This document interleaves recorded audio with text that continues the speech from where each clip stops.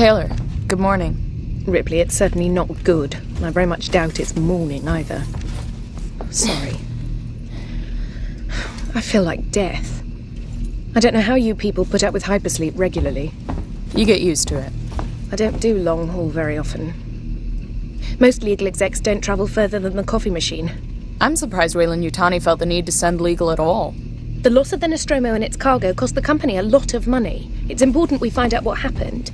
If I can close the case with a conclusive accident report, it'll look great with my superiors. I'm sorry. That was insensitive.